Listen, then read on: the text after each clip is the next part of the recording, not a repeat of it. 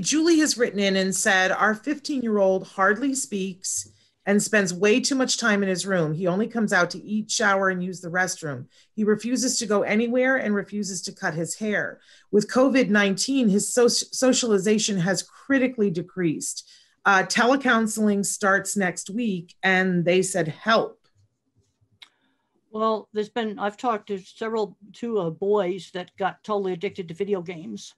And one of the things that saved them, now I realize this would be hard to do now, is they got interested in fixing cars and doing robotics. And for one of the students, um, he's now fixing cars. Another one is fixing trains for the railroad.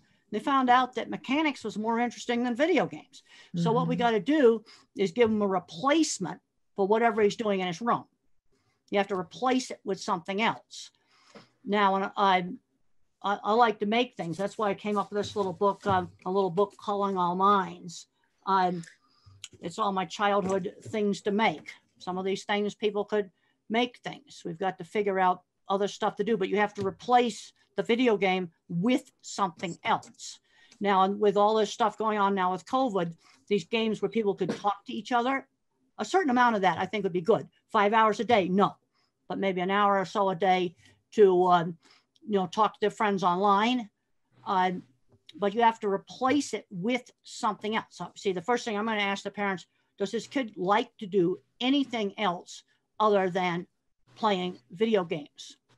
I'm going to assume that he's doing either that or movies or something like that constantly.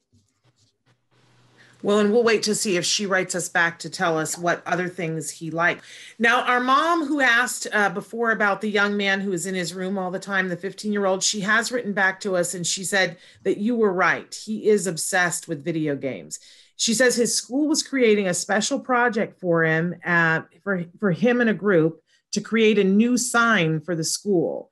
With the school being closed, that is on hold. He loves art we brought more than $200 in supplies at Christmas as a Christmas gift, but he has no interest in any of it, Temple.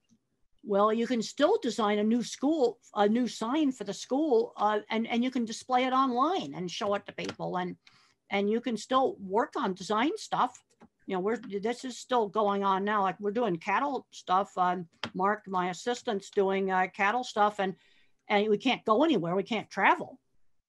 But but uh, we're still doing design work. People write in to me about livestock stuff. We're still doing it. But Temple, how did your mother motivate you? I'm always amazed by the fact that your mother was so ahead of the curve. And you have told me before that if, if left to your own devices, you would have sat and spun the little metal plate at the end of your bed. And that's what you would have done all day long. How did your mom get you out of the bedroom, get you into the stalls with the horses, and then get you drawing horses? How did she well, get you I, to do drawing, that? Drawing horses, I was doing in about third grade because when I was in third grade, I would just um, uh, draw the same horse head over and over again. And she just suggested, well, let's draw the entire horse. Let's draw its saddle, draw its stable. Okay, you have a kid that loves cars. Well, let's look at different kinds of cars. In other words, take that fixation and broaden it so it's not quite so fixated. That um, uh, that's what people need to be doing. Uh, figure out how to broaden it. And then when I went away to the special boarding school, um, I loved riding the horses, and I got um, I through um, still had some problems with anger. I had to turn anger to crying. That's how I got rid of anger. And and uh, they took riding away for two weeks after I got in a fist fight in the cafeteria. And, you know, then uh, we had remodeled the horse barn at our school and they suggested to start taking care of the horses. And I started doing it and liking it. You see, people, you've got to try stuff.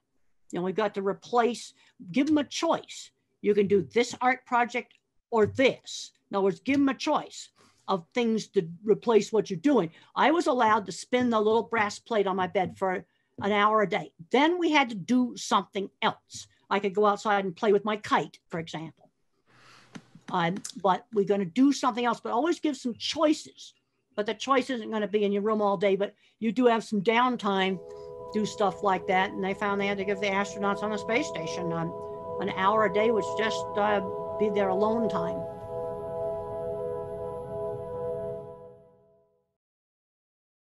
Hey, thanks for watching Autism Live. To subscribe, click here. And if you'd like to check out some more of our videos, click here.